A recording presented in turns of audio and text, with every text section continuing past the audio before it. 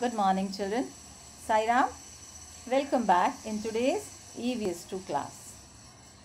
I hope you all must have gone through the previous video.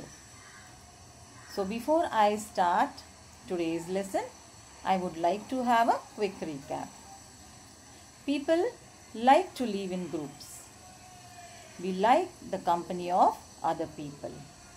At home, we live with our parents. We also have neighbors. We miss our friends if we can't meet them. Living in the company of our family, neighbors, and other people means living in a community. So, we have learned everything in the previous class. So, now we'll continue with part 2 of the same lesson. That is lesson number 20 our community life. So, we'll begin with new words. Produce. Produce means to make or manufacture from raw materials.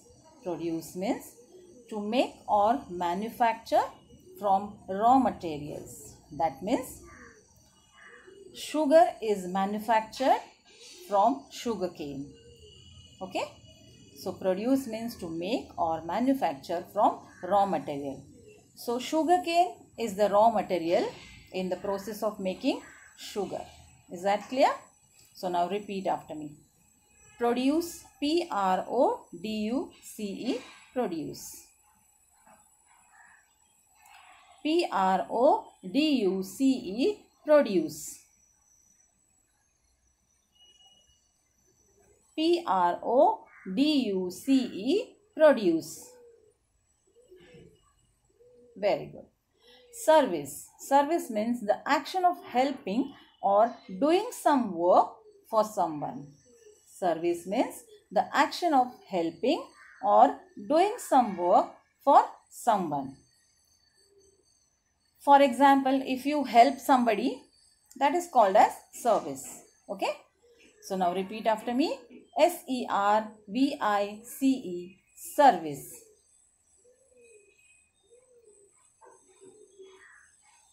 S E R V I C E service. S E R V I C E service. Very good. Contribute. Contribute means give something especially money or help to achieve something. Uh, people uh, they give money okay for for some good reason you can say for some good cause. People give money or they donate money for building a hospital okay? So that that is contribution. Or some kind of help also we offer to achieve something. So that is also contribution. Fine we contribute our help to achieve something. Now repeat after me. Contribute. C o n t r i b u t e. Contribute.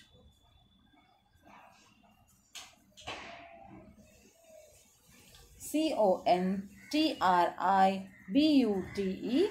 Contribute C O N T R I B U T E contribute. Satisfy. Satisfy means happy or contented. Satisfy means happy or contented. For example, if you get good marks in the exam, you feel happy or contented. Okay, that means you are satisfied. Okay, so satisfy means happy or contented. Repeat after me. S A T I S F Y satisfy. S A T I S F Y satisfy. S A T I S F Y satisfy. Interdependent means dependent on each other. Interdependent means dependent on each other. Our community life is interdependent. I repeat, our community life is interdependent means people are dependent on each other. Okay? So interdependent means dependent on each other. Now repeat after me. I N T E R D E P E N D E N T interdependent.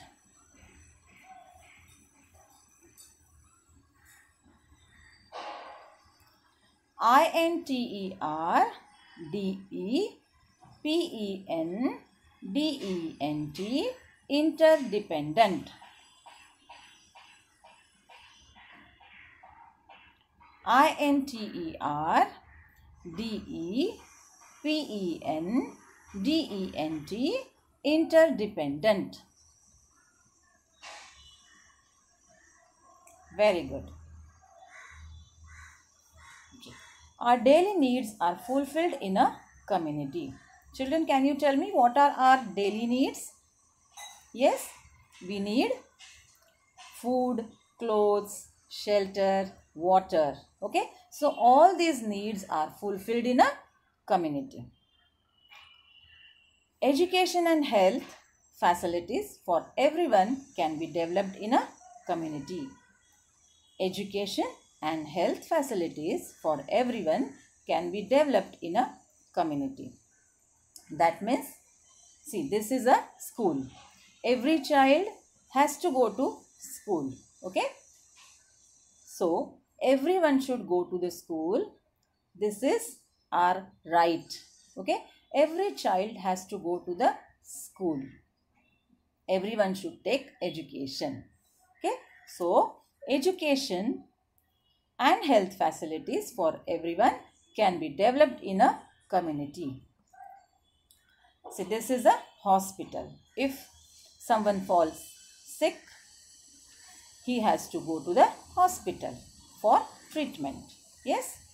If someone falls sick, the person has to go to the hospital for treatment. Is that clear? So, once again, we'll repeat. Our daily needs are fulfilled in a community. Education and health facilities for everyone can be developed in a community. I hope this is clear. Once again, we'll revise. Our daily needs are fulfilled in a community. Education and health facilities for everyone can be developed in a community. See, this is a school. We all go to school. Every child has to go to the school. This is a hospital. If we fall sick, we have to go to the hospital for treatment. Goods have to be produced to satisfy needs. Goods have to be produced to satisfy needs. This is called production of goods. We require all kinds of good, okay, to satisfy our daily needs. This is called production of goods. The process of reaching those goods to people is called service. The process of reaching those goods to people is called service. Now we will see production of sugar.